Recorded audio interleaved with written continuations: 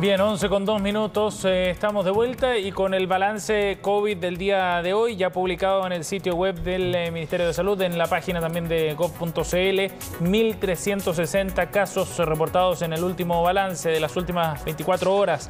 Ojo con eh, los niveles de positividad que siguen subiendo, 3,62% en esta ocasión, un repunte bien fuerte respecto a los días previos, nos acercamos al 4% ya y esto después de haber realizado 34.163 exámenes en las últimas 24 horas. Sí, em, la positividad a nivel nacional ahí, eh, bueno, la vemos 3,62%, 3% en la región metropolitana. Y respecto a las hospitalizaciones, este miércoles 3 de noviembre se informa de 494 94 personas hospitalizadas, 396 pacientes de ventilación mecánica y 227 camas críticas disponibles. Es parte de los números que hay que mirar de cerca en la medida en que han ido aumentando los casos.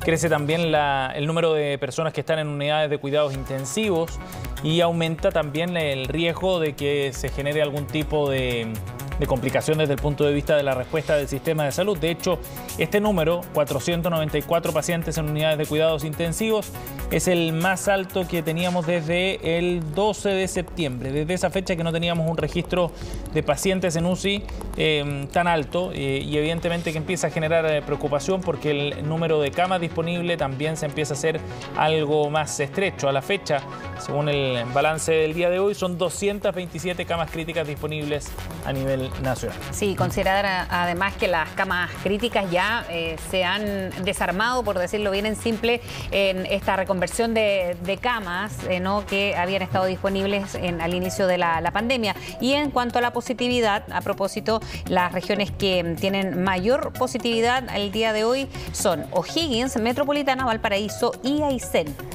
Claro, 8% de positividad en el caso de Atacama y Coquimbo, 7% en el caso de Aysén. Vamos a analizar